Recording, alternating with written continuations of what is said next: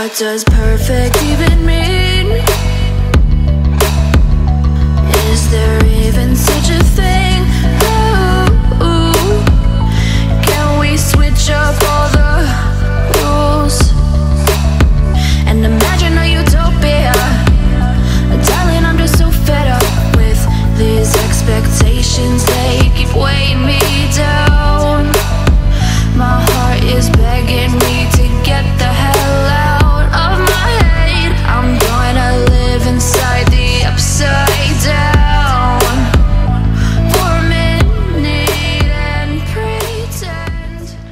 What's going on guys? Welcome to my first catch and cook.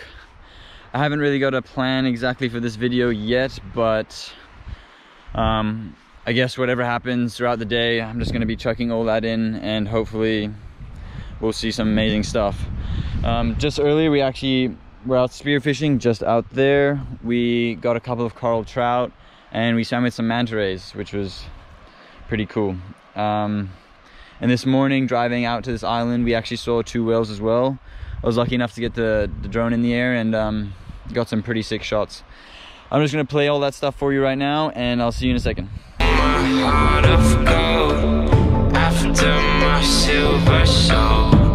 Can you any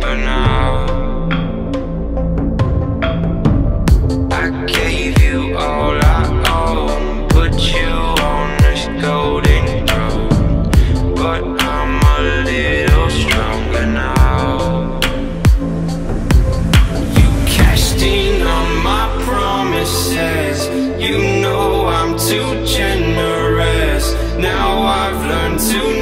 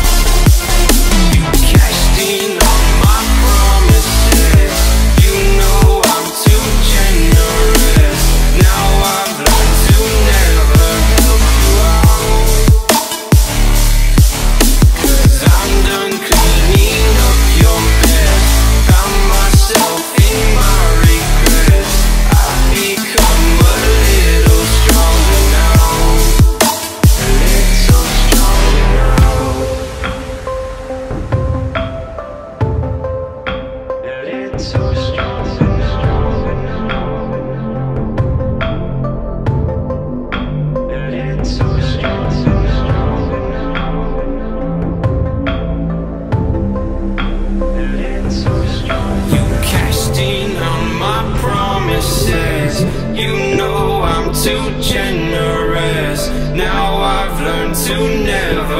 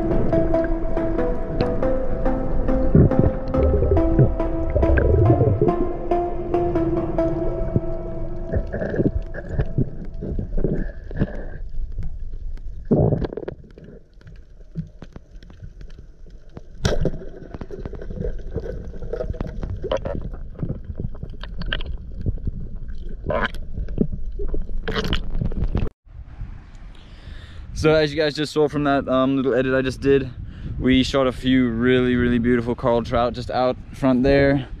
Um, I shot my first and probably the best footballer trout I'll ever get. It was honestly just massive. Just sitting at one of the bombies under the boat. Sort in literally the first two minutes of jumping in the water. Just really happy with that. And then literally five minutes later, we were just driving over and we um, saw a couple manta rays. We jumped in the water, swam with them. And yeah, it was just incredible. Um, so for those of you who don't actually know me, I thought I might uh, give my give a little background on myself. So uh, I grew up in Bali my whole life, and I just recently this year moved to Townsville, and I'm studying at James Cook University. I'm currently doing my Bachelor of Marine Science, and um, in my spare time, I go and do this, and yeah, it's pretty awesome.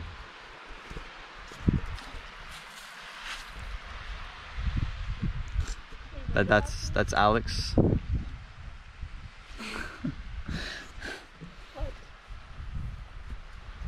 So um, for this video, I won't actually be doing um, a catch and cook. I have obviously gotten a bunch of coral trout, but I haven't got the supplies right now to cook it up right here. I will be doing that in the next video though, so if you're looking for that sort of stuff, that will definitely be in the next video. Um, and yeah. Alright, what's going on guys? These are the two coral trout that we shot yesterday. I'm just gonna fillet them and cut them up right now, and I'm just gonna show you what we do. So for these sized ones, I prefer to scale them and just gut them, get the most out of them rather than just filleting them. So I'm just gonna show you guys what I do with that. And so you just grab tail, just grind up fish. For any of you that do scale the coral trout, you'll know that scales come off very easily. It's not a difficult job. So just do this until you're done. Alright, so now after you've already scaled both of them, what you're gonna do is just put the knife straight here and just dig it all the way down to this fin right there. And then what you want to do is just get those out of the way and just slice straight through the gut down this way like so and now what you've got is all the guts and stuff just in there. If you just pull that stuff out like that. All right so now that I've removed all the guts out of there it's filleted. That's pretty much ready to go. All we'll do is put a bunch of spices on it put some butter inside and some lemon and then put on the barbecue. And so if you want to see again just stick the knife in there drag it up all the way through to the fin right there. And then you just want to go behind the fins and drag it all the way through. Just meet it about halfway through its length and then you've got it open again right there. All of its guts pretty much will just fall straight out pull it out and yeah that's pretty much that's all you pretty much have to do. And now it's ready to go on the barbecue